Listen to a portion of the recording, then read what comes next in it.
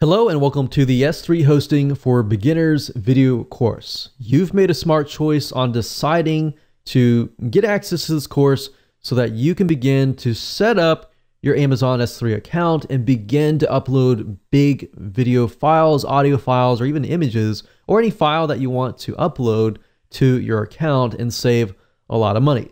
So my goal and the purpose of this video course is to get you to that point. So I'm going to keep this simple, straightforward, and to the point. So first things first, what I want to do now is give you a quick overview of the video course so you know exactly what to expect. And that way you'll see the step-by-step -step process and you'll be able to implement it at a faster rate. So obviously this is video number one, which is the introduction and quick overview. Video number two, I'm going to talk about calculating your costs it's good to have an idea of your numbers and potential budgeting so that you can kind of put money aside for your monthly and yearly budget.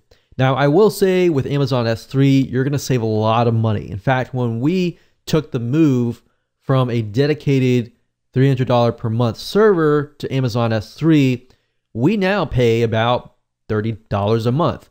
And we're utilizing a good amount of bandwidth, which you'll see more and video number two, which is going to be an eye opening experience. So, video number three, we're going to talk about what you need. So, there are a few things you need before you can get started. Video number four, we'll talk about the recommended softwares and why. Video number five, we'll connect to S3 utilizing those softwares. We'll create buckets and folders in video number six. Video number seven is going to be about protecting your Amazon bucket by preventing unauthorized access. So, a lot of people are unaware of this, but they create an Amazon bucket. They set everything up on their download page, and people begin to download the files. That's great and all, but a lot of people forget to protect the bucket. So, what ends up happening is people share those links or they put it on their own site, and then guess what? They're utilizing bandwidth that you have to pay for. So this is a very important step and I'm going to show you how to do it right. Video number eight, we're going to talk about transferring files from the PC or your Mac to your Amazon S3 account. And of course, last but not least, video number nine, we're going to talk about getting the URL to each file. So this is crucial, especially when you begin to build out your download pages. You need to have the direct link, right? So what I want to do right now is just to create a flow chart so that you can visually see what is happening as far as integrating your existing web hosting account with Amazon S3. So I want to make sure that you understand that you're not replacing your web hosting account but rather what you can do is you can size it down while using Amazon S3. So right now you have a web hosting account, right? And some of you could be paying $10, $20 a month.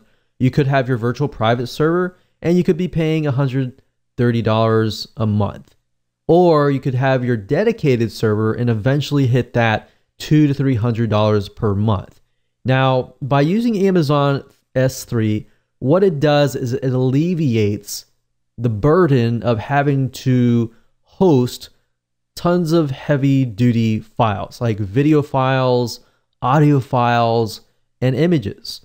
So, what ends up happening is yes, your web hosting account works now, and you could be paying a low fee.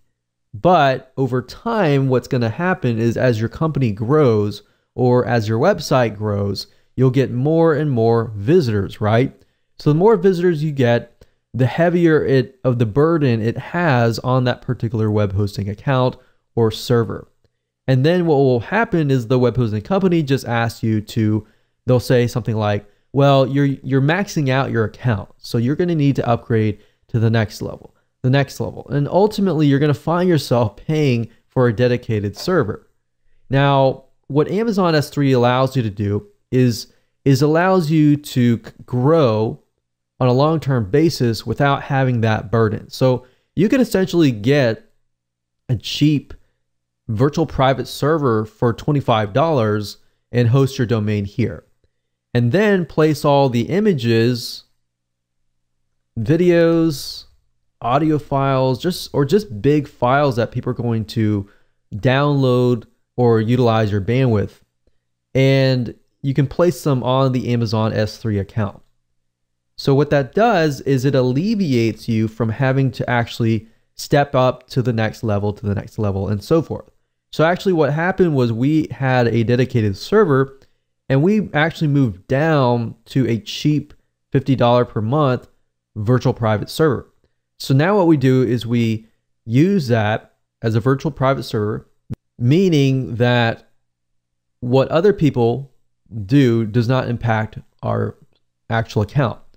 So now we have a cheap web hosting account and we link the images, the videos, the audio, and the big files over here.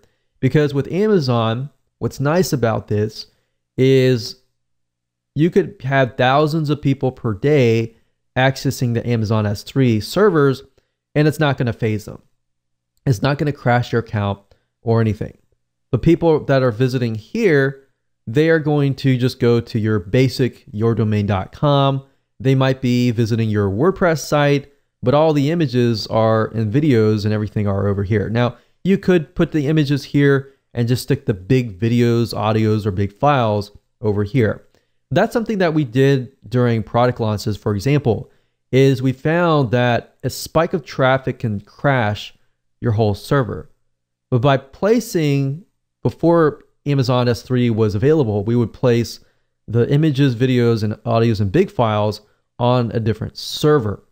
And that's how we would combat this whole situation. So I just want to make that clear that you understand that this doesn't necessarily replace this. You still have the web hosting account, you still have WordPress on this account, you can still have images, but the whole goal is to alleviate that burden. All right. So now that you understand how it works, uh, let's move on to the next videos and I'm going to show you how to actually get this done. So with that said, let's just jump straight in and go into video number two and we'll talk about calculating your costs so you know exactly what to put aside as far as your budget.